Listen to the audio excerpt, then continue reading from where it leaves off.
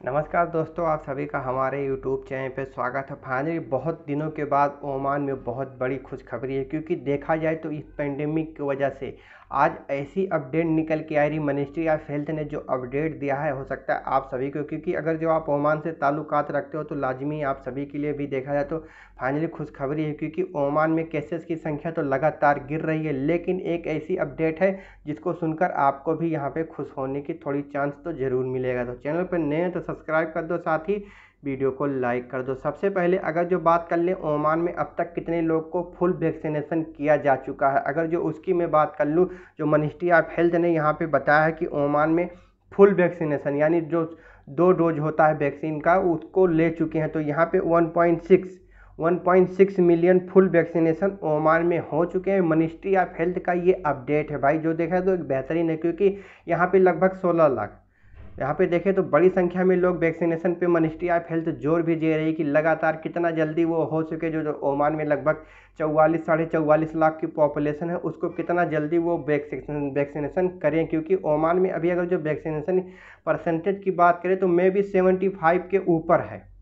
मतलब ओमान में जो पॉपुलेशन की अगर जो बात करें सौ आदमियों में तो लगभग पचहत्तर से छिहत्तर आदमियों को अब तक वैक्सीनेशन वैक्सीन लग चुकी है, जो देखा है तो एक बेहतरीन अपडेट है। अब बात करते हैं यहाँ पे कि जैसे ओमान में पिछले 24 घंटों में केसेस कितने आए हैं, क्योंकि लगातार दिन ब दिन भाई देखें तो केसेस की संख्या अब गिरती ही जा रही है। अगर जो बात करें कि आज कितने केसेस आए हैं तो यहाँ पे 58 न्यू केसेस आए हैं। अट्ठावन नए मामले दर्ज हुए हैं, ये 24 घंटों का अपडेट है। मिनिस्ट्री ऑफ़ हेल्थ का, उसके बाद बात करें कि टोटल केस आज तक ओमान में कितना हुआ है। तो उनकी अगर जो मैं बात कर लूँ तो यहाँ पे तीन लाख तीन लाख तीन हज़ार एक सौ तिरसठ आदमी अब तक इस पेंडेमिक का शिकार हुए हैं। आज तक का ये मिनिस्ट्री ऑफ़ हेल्थ का अपडेट है। उसके बाद बात करें कि रिकवर कितने लोग हुए हैं।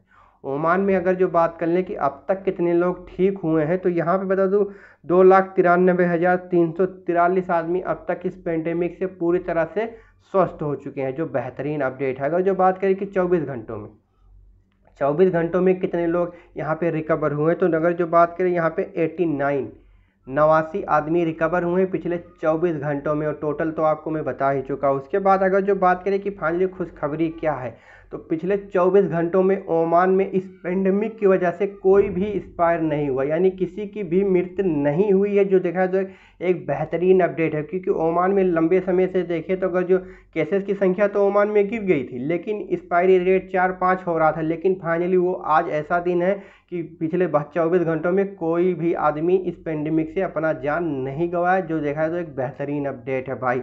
टोटल की बात कर ले तो यहाँ पे चार हज़ार नवासी आदमी अब तक इस पेंडेमिक से अपना जान गंवा बैठे हैं, जो कि काफ़ी दुखद है। तो अगर जो आप ओमान में रहते हो तो भाई मास्क सोशल डिस्टेंसिंग का ज़रूर से ज़रूर ख्याल करिएगा और ओमान सुप्रीम कमेटी का जो भी कायदे कानून है उसको बराबर फॉलो करिएगा। तो वीडियो लाइक कर दीजिएगा, चैनल को सब्सक्राइब कर दीजिएगा। नमस्कार।